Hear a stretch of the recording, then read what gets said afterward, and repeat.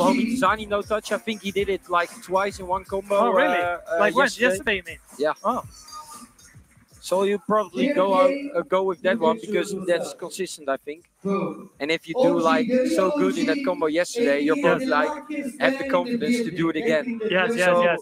Yeah, that helps. If I were him. I should do Yeah, that yeah. also. Yeah, if that one feels good, then just uh, keep doing it. All right. JRK is more from the uh, lower, more creative lowers. Yeah, well, he, he kind of breaks up his lowers a little Yeah. bit with like s- slab variation. Yes, Here, straight here we go it. with the no touches. Whoa, whoa, you see the sauna results. And he also has good confidence because I think he just Yeah, won the here Danish you see it. championships as well. Like, Touzani, although yes, Touzani you no were touch. talking about it. Yeah. Yeah, I already told you.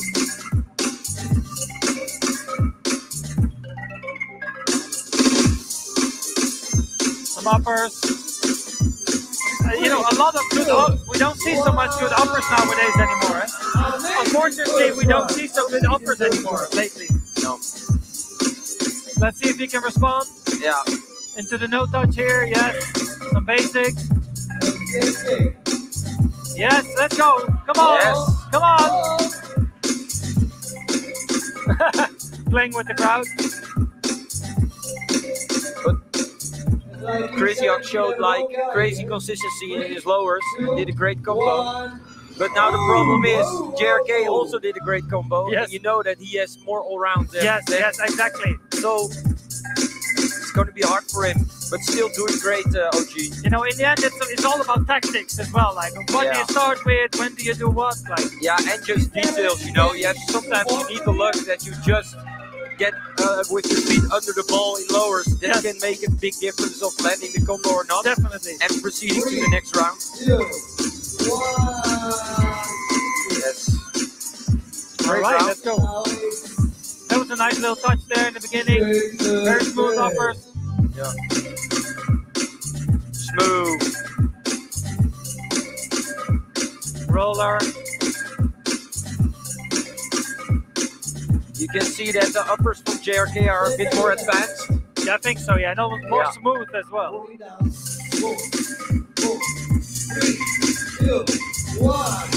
Yeah. Yes. Oh, I thought it was going for the three red there, but Yeah, he missed I it. thought yeah. too.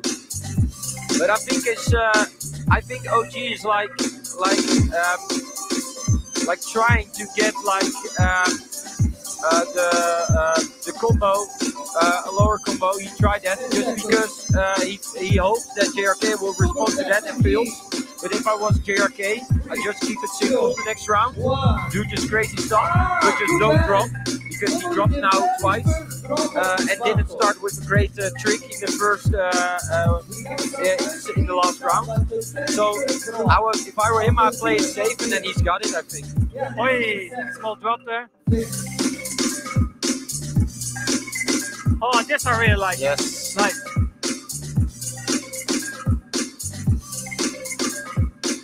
Yeah. So not really much difference in the sit down style, like doing basics, but finishing it better.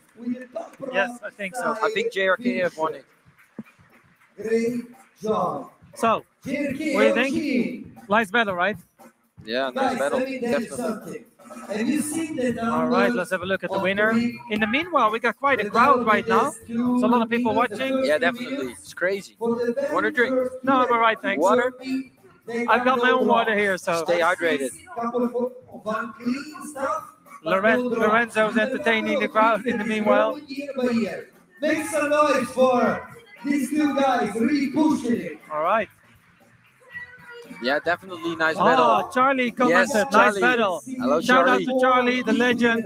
Yeah, the legend, Red Bull Street Style winner. I always call him Mr. Red Bull Street Style because he's been there from the beginning, you know, like Yeah, yeah, yeah. Red Bull Reaction 2007, 2008, all the way, Yeah, like more than 10 years of Red Bull Street He's Style. crazy, so- and you, he, he, when he won in London, everyone was like, "I hope he wins for the first Yes, time," you know, because exactly. he he lost